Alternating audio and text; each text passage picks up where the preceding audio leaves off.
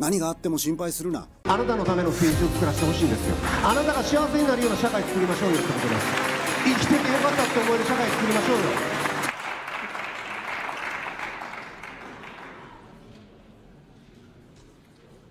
両案につき討論の通告があります。順次これを許します。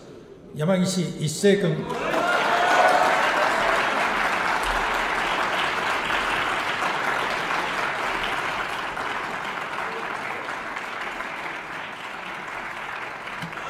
東京都練馬区から参りました立憲民主党の山岸一生です。私は会派を代表して国家公務員一般職の給与法改正案に賛成。そして総理賃上げ法案である特別職の給与法改正案には断固反対の立場から討論をいたします。来る12月8日岸田総理大臣はじめ大臣副大臣政務官の皆さんを含む国家公務員に冬のボーナスが支給されます。この法案が成立をすれば、今年夏のボーナスに遡って増額となり、冬のボーナスで合わせて支給されます。その増額分は、総理大臣については、なんと36万円にも上ることが、先日の国会審議で明らかになりました。ボーナス36万円アップ。岸田総理、それに見合う仕事をしてきたと胸を張って国民に言えますか？私は大いに疑問です。今、国民の皆さんは物価高と追いつかない賃上げに直面をしています。対策として総理は減税だとおっしゃる。ですが、減税が届くのは来年夏のボーナスのタイミングだと総理ご自身がおっしゃっています。そもそもボーナスを受け取れない不安定雇用の方もたくさんおられます。国民には来年のボーナスまで辛抱しろと言っておきながら、来月、来年ではありません。来月のボーナスで総理ご自身が36万円もの増額を手にする。総理がおっしゃっている、私が先頭に立って賃上げを働きかけていくとは、ご自分の賃上げから始めていくということなんでしょうか。順番が違うのではありませんか。ボーナスだけではありません。この法案により、年間で総理は46万円、国務大臣は32万円の年収アップになります。また、仕組み上、これに連動して、我々国会議員のボーナスも18万円アップします。人手不足の中で懸命に行政を支える自治体や省庁の職員、使命感を持って奮闘する自衛隊の現場、私たちは現場で必死に頑張る国や地方の公務員の給与を民間と同じように引き上げることにはもちろん大賛成です。しかし、政治家の賃上げは違う。今の経済状況を招いた責任のある政治家が真っ先に自分たちだけは給与アップ。まさに永田町の常識は世間の非常識です。このようなおかしな答案を断じて通すわけにはいきません。このような常識に照らしておかしい法案が、どうしてすんなりと国会に提出をされ、今日採決を迎えてしまったのか。政府・与党には途中で誰か一人おかしいと思う人はいなかったんでしょうか。誰か一人でも声を上げる人がいれば、このような恥ずかしい事態にはならなかったはずです。必要な時に声を上げない。これは大阪・関西万博の費用の膨張も同じです。見直そう。立ち止まろう。そうした声をもっと早くに上げていれば、ここまでの失態にはならなかった。今回の法案には、責任者である万博の政府代表の給与アップも含まれています。合わせて認めることはできません。言うまでもなく、公務員の賃上げの財源は、国民の皆様からお預かりをしている税金です。徴税、納税への信頼なくして進めることはできません。神田財務副大臣の度重なる税金の滞納は極めて悪質です。神田副大臣は昨日、辞表を提出をされました。国会に何の報告もないまま逃げ出すおつもりなのでしょうか。税金すら真面目に払わない政治家が、自分たちの給料やボーナスはお手盛りで引き上げる。このような政治に対して怒りの声が多く上がっています。私自身、政治家の一人として恥ずかしい、情けない思いです。高まる悲願に政府は慌てて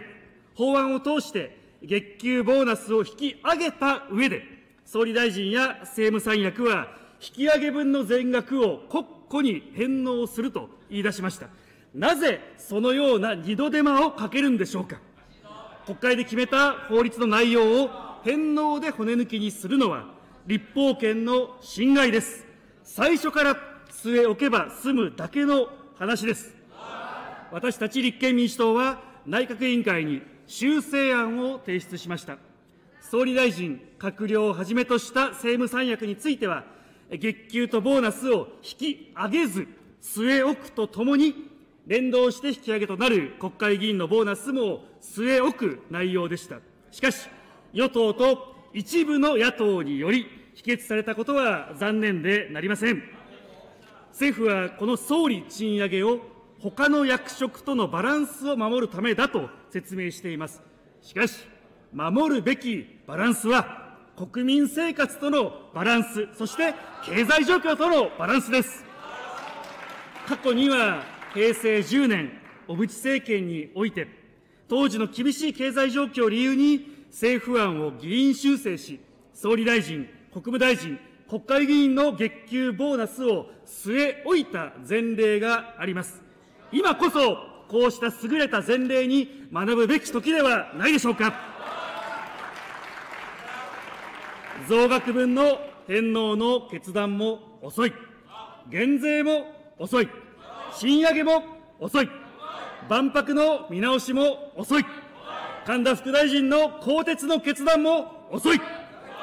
岸田政権は、あらゆる決断が遅い。遅い。遅い。ただ一つ、ただ一つ早いのは、総理ご自身の賃上げですか悪い冗談はもうやめていただきたい。良識ある与野党議員の皆さん、今からでも遅くはありません。今、地元で有権者の方に胸を張って政治家のお給料を上げさせてもらえませんかこんなことをおっしゃっている方はおそらくおられないでしょう。自ら自信を持って説明できないような悪法を漫然と通してはなりません。特別職の給与法改正案に共に反対していただくようお願いを申し上げて、私の討論を終わります。ご清聴ありがとうございました。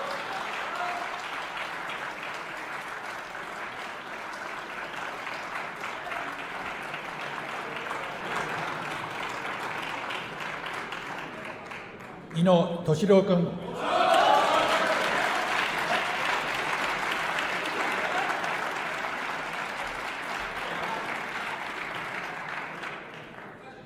自由民主党の井野俊郎です。私は会派を代表して、ただいま議題となりました、一般職の職員の給与に関する法律等の一部を改正する法律案、および特別職の職員の給与に関する法律、および2025年日本国際博覧会政府代表の設置に関する臨時措置法の一部を改正する法律案のに法案に対し、賛成の立場から討論をいたします。国会運営の屋台骨となる官僚の処遇の改善と、若手職員が意欲を持って働くことができる職場環境の実現は、国の当然の責務であることは言うまでもありません。今回の改正法は、国家公務員の給与を引き上げるとともに、働き方改革を促進する内容となっており、引き上げ額が不十分という意見もありますが、一定の評価ができ、早期の成立が必要であると考えます。まず、給与の引き上げについてであります。一般職給与法等の改正案は、本年8月7日の人事院勧告を踏まえ、改定を行うものであります。国家公務員の給与は、地方公務員や独立行政法人の職員のみならず、公務員に準拠している学校や病院などの民間職員の給与にも大きな影響を及ぼします。そのため、本法案の成立によって、すべての産業の賃上げの流れを促進させることが期待でき、評価できます。次に、霞が関の働き方改革についてであります。本法案は、テレワークやフレックスタイム制の促進などを目的とし、公務員の多様な働き方を認め、ワークライフバランスの実現、公務職場の魅力向上など、働き方改革に寄与するものであり、評価できます。こういった政府の取り組みを後押しするためにも、我々国会としても、質問通告の早期化や、オンラインによる質問レクなど、デジタルツールを活用した質問通告の実施などを通じて、公務職場の向上に努力していかなければならないことも肝に銘じておかなければなりません。次に、特別職給与法及び政府代表臨時措置法改正案についてでありますが、確かに特別職の国家公務員には、会計検査委員長や人事総裁、各種委員会の委員長などのほか、大臣等議員が任命される官職があります。大臣等政治家の給料アップについて、国民の十分理解が得られているとは言えない側面も否定できません。しかしながら、官職の給与は、その職務と責任に応じて定めるべきであり、内閣総理大臣や国務大臣等のみを据え置く据え置くこととすることは、他の官職との均衡を欠くこととなり、公務員全体の給与体系を崩すことになりかねません。また、大臣は民間人でも登用されうる官職であり、政治家だから給与を引き上げない、引き上げをしないという法律にすることは、職務の均衡上も適当ではないと考えます。その上で、政府は法案成立後に、内閣総理大臣及び政務三役について、内閣総理大臣3割、大臣副大臣2割、政務官1割の返納という今の取り組みに加え、今回、新たに給与の増額分をすべて返納する方針が表明されたと承知をしております。政府におかれては、国民の理解の得られる努力をしていることは評価できます。そもそも、我々国会議員政治家の職務は、国民にあるべき国家像を示し、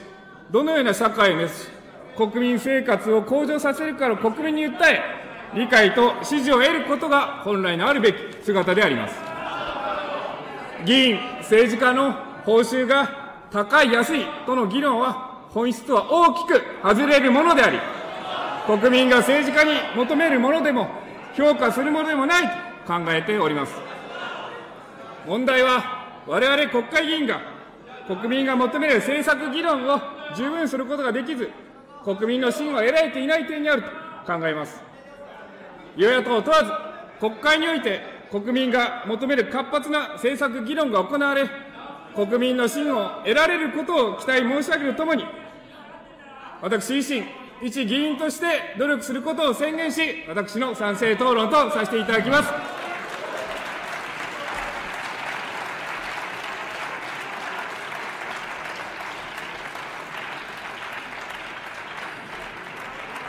これより採決に入ります。まず日程第5につき採決いたします。本案の委員長の報告は可決であります。本案を委員長報告のとおり決するに賛成の諸君の起立を求めます。